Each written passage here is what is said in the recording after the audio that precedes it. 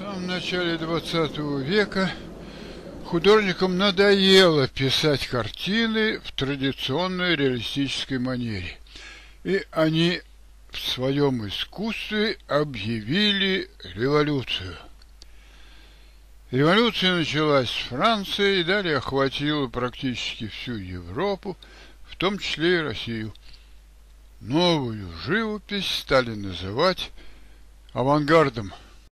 А московские авангардисты в 1910 году даже создали свое объединение с весьма экстравагантным названием «Бубновый балет», которое возглавили Кончаловский, Машков и Аристарх Лентулов.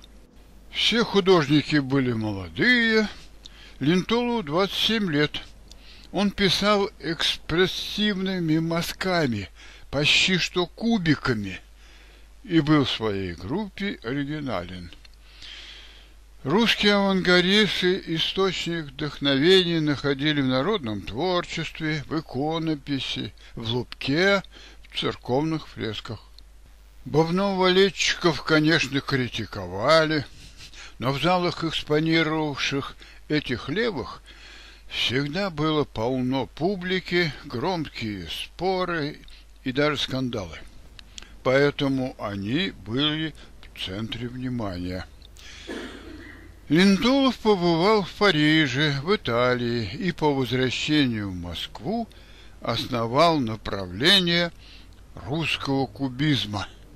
Но к началу русской революции бубновый балет уже развалился, а в начале 20-х годов кубофутуристические пристрастия Лентулова совсем иссякли.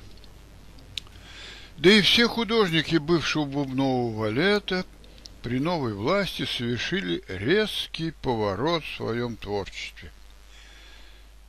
И в дальнейшем, уже в 30-е годы, главной сферой приложения творческих сил Лентулова становится театр.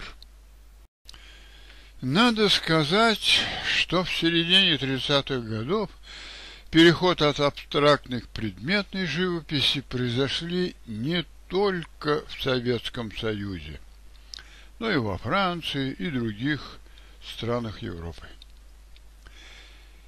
Эпоха кубизма закончилась, но творения Лентулова оригинальны. Они отражают дух революционного времени – и составляют большую художественную ценность.